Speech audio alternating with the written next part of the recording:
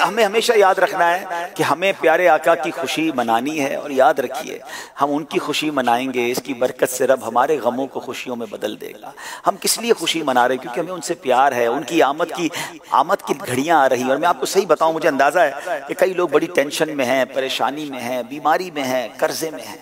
ये वो महीना आ गया है। जिसमें इनशाला बहुत मुझे रब की रहमत से उम्मीद है कि जो प्यारे आका की रजा वाले काम करके नबी ये पाक की खुशी मनाएँगे ना इनशाला रब करीम ऐसे रहमत के दरवाजे खोल देगा। वो बड़ा करीम है, वो बड़ा रहीम है, हम उसकी बारगाह में दुआ करते हैं कि मौला ये महीना हमारे गमों को खुशियों में बदलने वाला महीना बना दे, हमारी बीमारी को सेहत में बदलने वाला महीना बना दे। ए अल्लाह, हमारे जितने प्रॉब्लम्स हैं, अपने कर्म से दूर फरमा दे, बल्कि ये महीना हमारे मक्के मदीने की हाजिरी वाला महीना बना दे। अमीर अहल सुन्नत ने पिछले दिनों एक और बड़ा प्यारा जहन दिया कि नबी पाक की बारगाह में मिलकर हम बारह अरब दरुद पाक का तोहफा पेश करें। उसके लिए तमाम आशिकान रसूल को आपने ये हदफ दिया कि रबी अव्वल के महीने में रोज़ाना कम अज कम बारह सौ बार दरुद पाक पढ़ें। तो जितने इस्लामी भाई हैं, इस्लामी बहनें, हमारे घर में जितने बच्चे हैं, सबको इस काम पे लगा दें कि सुबहान अल्लाह मीलाद का महीना आया है। हम नबी पाक को दरूदों के और सलामों के गजरे पेश करें। प्यारे आका की बारगाह में ये तोहफा पेश करें और यकीन जाने। वो कहते हैं ना, हम तो अपनी औकात के मुताबिक तोहफा देंगे ना।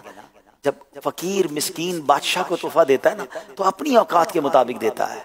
मगर जब बादशाह अता करते हैं ना तो वो अपनी शान के मुताबिक अता करते हैं। तो दरुद पाक के तोहफे तैयार कीजिए। और हाँ एक और तोहफा आपको बताता हूँ। नबी पाक सलाम को क्या पसंद था? दुनिया का दस्तूर है ना, जब किसी का बर्थडे हो, सालगिरह हो तो लोग तोहफा देते हैं। आपने क्या तैयारी की है? आइए मैं बताता हूँ प्यारे आका को क्या पसंद है। नबी पाक फरमाते हैं जो इलत कुर्रत आईनी फिसला नमाज़ में मेरी आँखों की ठंडक रखी गई है। अब बताइए ना एक आशिक रसूल मिलाद बनाने वाला, उसकी नमाज़ कैसे कजा हो सकती है?